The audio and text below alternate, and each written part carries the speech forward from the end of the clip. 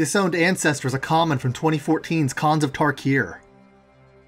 Disowned Ancestor ties into the Abzan House's kin tree tradition. For the Abzan, family is literally everything, and not just blood related family. Each Abzan family have a kin tree, which is a big deal in the deserts they call home. Families care for their tree, bury their dead beneath the tree, and carve their names into it. The spirits of departed Abzan family members are tied to, dwell within the tree, and are ever ready to protect their family.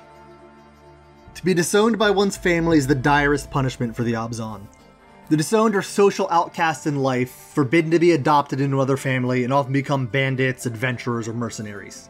Possibly worse for them is in death they have no kin tree to be fed to, and as such become wandering malevolent ghosts.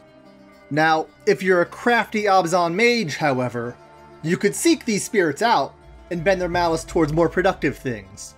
You know, enemy things.